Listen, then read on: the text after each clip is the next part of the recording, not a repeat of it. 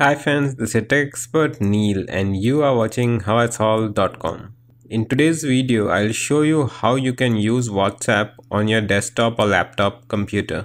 I'll show you using two methods. Both the methods require you to have WhatsApp installed and functioning on a mobile device. So keep that in mind. Let's get started. The first method that I'll show you is by using WhatsApp on a web browser that is web.whatsapp.com. The link for this website will be down in the video description. You simply have to open this website called web.whatsapp.com and then the instructions are mentioned on the screen. A QR code will load over here and you have to scan this QR code on your mobile device which you want to link to this WhatsApp web session. So we'll do that. I'll show you where exactly you have to tap to scan this QR code.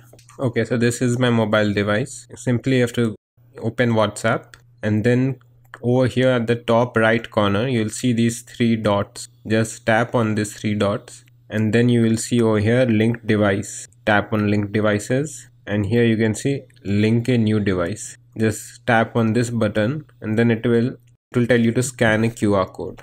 As you can see it's showing that and there you go it's as simple as that now you can access WhatsApp via your desktop. You don't have to install any application on your system and it's quite functional. There are some features that are not available in this version and for that you have to download and install WhatsApp on your desktop or laptop system and that is the next method that I'll be going to show you. And the link for to download WhatsApp installation will be down in the video description this is the link and you you can see over here there is option. You can install it either on mac or windows pc i'll show you how it is done in windows. Simply click on this button download for windows. And this will download the exe file. Let it download. Okay the downloading has finished.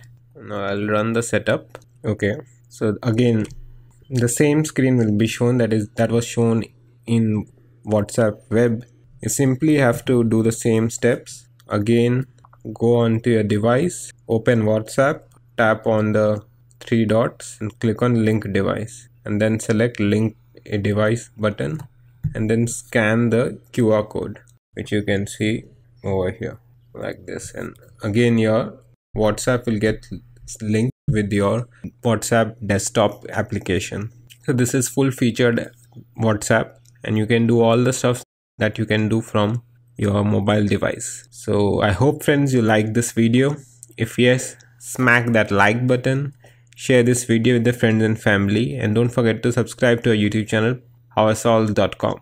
Thanks for watching friends. See you later. Bye.